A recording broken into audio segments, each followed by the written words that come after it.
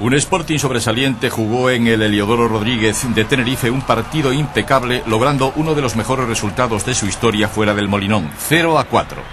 En el minuto 11 Barral, que dio varias asistencias de gol, le regala la primera a Gerardo, que aprovecha, marca el 0 a 1.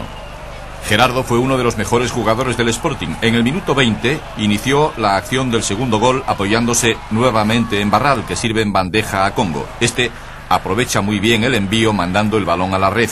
0 a 2, una acción de ataque muy bonita. El 0 a 3 se lo inventa Diego Castro en una jugada personal, varios regates por su banda y pase con el exterior para que Gerardo se anticipe a sus marcadores y entrando valiente empalme a la red. 0 a 3. El Sporting estaba bordando el fútbol y el Tenerife no era capaz de hacerle frente. Corría el minuto 42 del primer tiempo. Gerardo celebra el gol junto a sus compañeros haciendo una piña. La alegría no era para menos. Barral pudo ampliar en el minuto 6 de la segunda parte su cuenta. Su remate se escapó por poco.